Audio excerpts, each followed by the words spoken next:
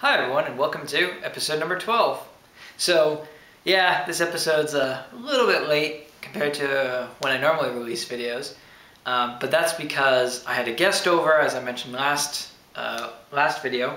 I had a guest over up, up, up, until just this morning, so I got basically nothing done uh, in terms of electronics uh, all last week, this weekend, everything. So um, just got back from the lab today, so I figured that since I've got only just a little bit of time before the sun sets outside, and as we've discussed before, I kind of need the sun to do any work, uh, any work filming. Uh, might as well, might as well get out a uh, quick, quick video.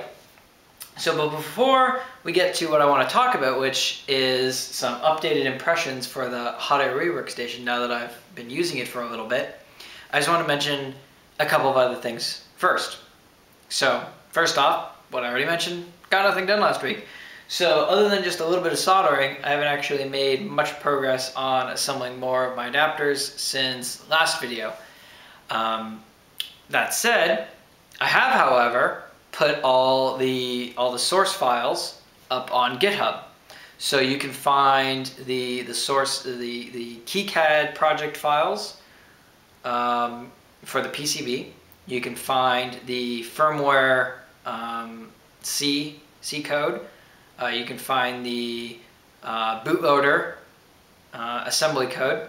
The bootloader is um, the tiny bootloader, by the way, uh, and which is like fairly available for anyone to use. So just the version that I'm using is just, well, the, the correct lines commented out and the right clock speeds put in, that's it. So you can find that, and you can find the Python um, the Python like communication scripts that I've written uh, all up on GitHub. So you, all, all four of those are all different repositories, and you can you can download as you see fit, or you can you can watch you can watch them also because I uh, even today I was I was making some changes and I pushed them out because of some limitations with Windows. So um, yeah, you can find those all on uh, you can find those all on GitHub. So um, the the other thing that kept me from doing any work last week was that I managed to completely mess up my uh, Ubuntu installation. So I do most of my work on, on Linux, uh, specifically using Ubuntu, and up until last week I was using 10.04. Uh, since pretty much since shortly after it originally came out in 2010, and since then, I've been installing slowly uh, additional PPAs. And if you don't know what a PPA is, don't worry about it.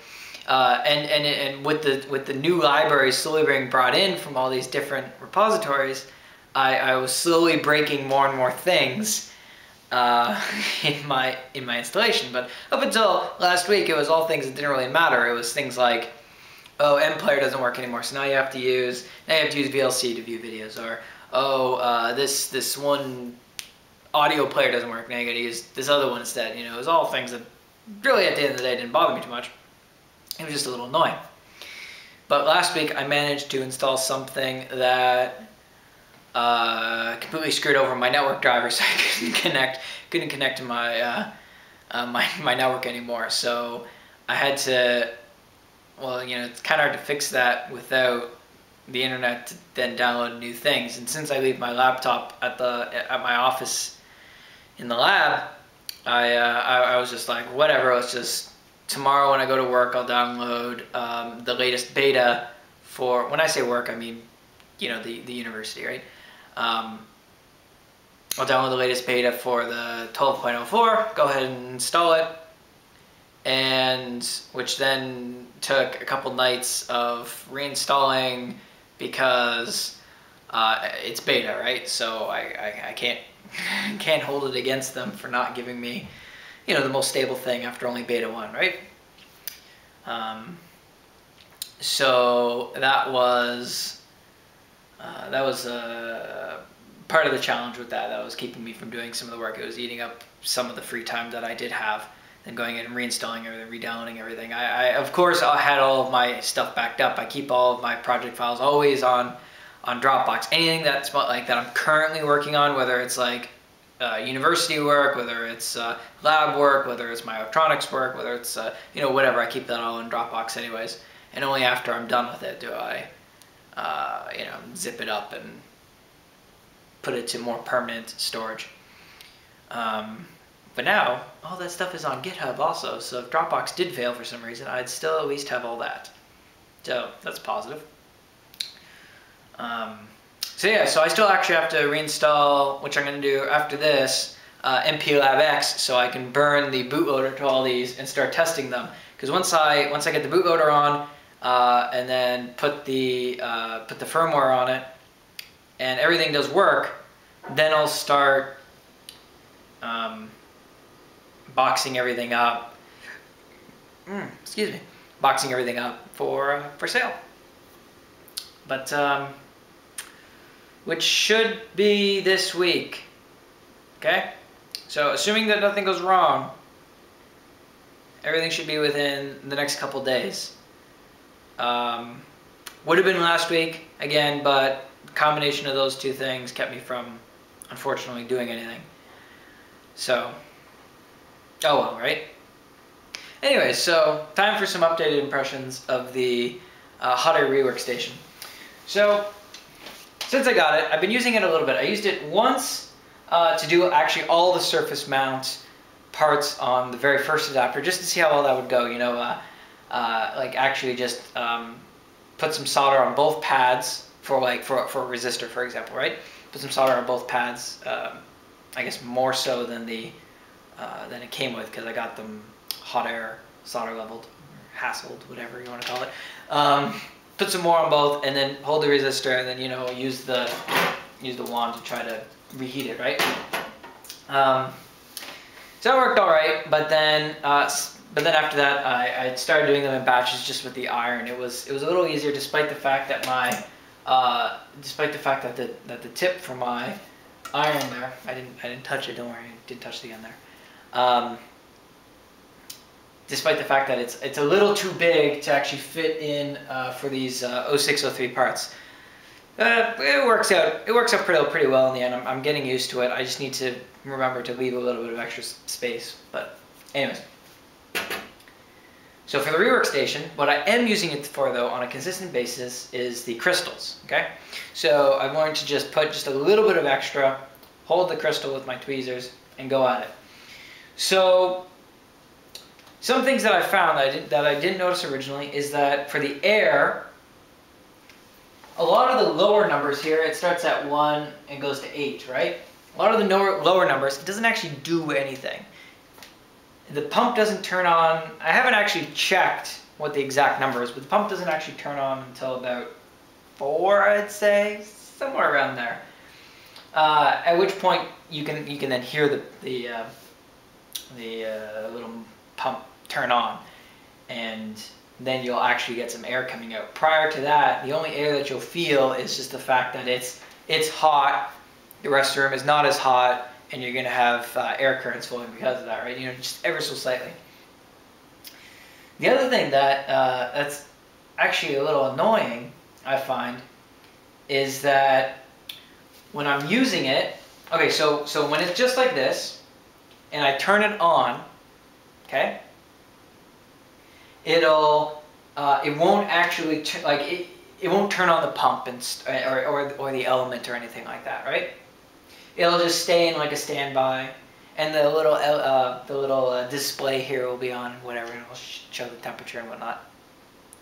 But it uh, it won't it won't actually turn on until you lift it out, and then you hear the pump turn on, and then you can see the temperature start to climb and whatnot.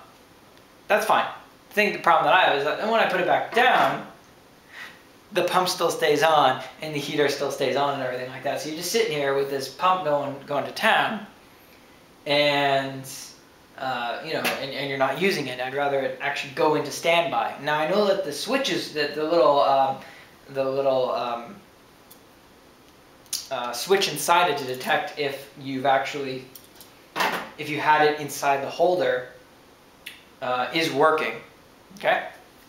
So I know that that's working, so I know that that's not the problem. I know that it can detect when it's in the thing, is what I'm saying. Um, but it doesn't seem to then go back into standby when I when I uh, when I put it back in the thing. The other thing that's a little bit of a pain is just how much how much power it does use um, when when even just on like a moderate temperature setting. Um, you know, I'm, I'm sure if I read the instructions, I could actually. I'm sure if I read the instructions, yes, I'd see what the uh, what the power requirements are of it. But just just this with that little tiny fan there, uh, because I don't actually have a proper fume extractor, uh, and these two lights on, and one of them is a uh, one of those high efficiency curly bulbs. Um, you, the lights will, these two lamps will noticeably dim just a little bit when the heater turns on, and you can you know that the heater's turning on because this little this little light on the front flashes. Um, so uh, how about we take a look at that, and you can see you can see what I'm talking about. So let me just turn the power on for the uh, for the power brick here, power strip, and you can see it. Okay, so I've gone ahead and turned on the power to the uh, power strip back there, and also my camera ran out of batteries right when I was doing that because apparently I forgot to charge it. So I put it on the charger for a couple minutes. Hopefully this will give me just enough to finish this off and then I can actually charge it properly for, for next time. Anyways, so let's take a look here. That slightly. And so we've got the hot air workstation. Let's go ahead and turn it on. So that's it just in just in standby there. And I can adjust the, the heater temperature and it'll show me what it will be set to, but it's not actually drawing any current right now. Excuse me. So I'm going to go ahead and do is uh, leave it on uh, leave it on this high air here so you'll you can actually hear that it's turning on and then we'll stay on. Okay? And then what I'll do is I'll lift it up, show you that it's turning on, put it back down, you'll see that it doesn't turn back, doesn't go into like standby or anything like that. And then I'll, I'll, I'll turn down the air so we can talk without it uh, being too loud. Okay, so here we go. So hopefully you can hear that. Should be able to. It's pretty loud. Uh, and it's uh, yeah, it's uh, heating up pretty good. So there's the light flashing there. So you know, just like uh, the uh, lower soldering station, it'll uh, it'll flash as it uh, turns on and off the heating element, right? So if I had these lights on, you can see it flicker, right? So this is the less efficient light bulb, and I know this is messing up the color right now with the camera, but um, you can see it flickering just a little bit. Hopefully you can see that on the camera, but uh, it, it, it is syncing up with that. So let's just turn that light back off. So go ahead now and put this down. It sounds a little different just because the weight of it is uh, uh, holding the thing down a little tighter on the one side. Um, but uh, yeah, see, it's not turning off. The, the heating element is still on. It's not cooling down. As you can see, the uh, it's still flashing. So it is trying to maintain that temperature and the air. So let's turn down the air. And it it turns off the air at about five and a half actually, so much higher than four. So I can turn this, I can diddle around with this here, and this is doing absolutely nothing. So that's actually about five and three quarters, and then turns back on. The little LED turns on there. And it turns back off, so it's got a little bit of history, so it looks like. Turns back off at five and a half. That's it at max. It's pretty loud, actually.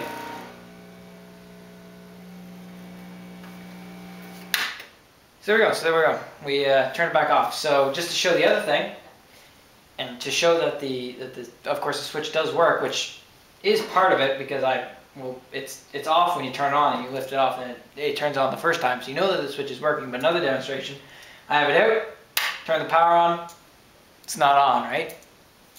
Put it down, and I kind of put it down funny there where, where it uh, bounced off of it. So we'll try that again. Right, not, not in, put it down, and then for some reason decides to go ahead and turn back on. But whatever, anyways, the point is, is that the switch inside it, does work. So, uh, yeah, those are my updated impressions. Uh, yeah, I guess you know. Well, what do you expect? You get what you pay for, right?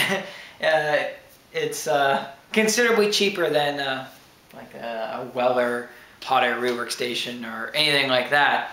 So, eh, but it does a job. I only use it just for uh, if I do something dumb and solder something on backwards, like one of the LEDs or whatnot or to put those crystals on because they got no exposed pads. So I use it for very minimal things, and I just I just physically turn the switch off in between in between using it instead of just having it run and just pump all that uh, hot air out into the into my room for absolutely nothing because yeah I don't really want to listen to the pump.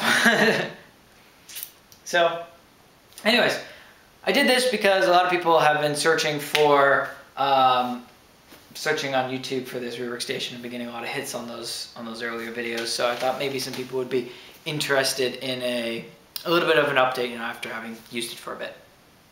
Anyways, I'm rambling now. So, anyways, be sure to check out the uh, the source files on GitHub. So again, you can find it at github.com/galvant. Okay, just in case if I didn't say that earlier, but that's where it is. But you also find a link in the description below. Okay, and to uh, signify the end of this episode, what I want you guys to do, if you made it all the way to the very end, I want you to leave a comment below, below the description, comment below, and I want you to use the word project somewhere in it. Okay, so as you know, I'm working on my GPIB USB project, and it's almost done. It's basically done, to be honest.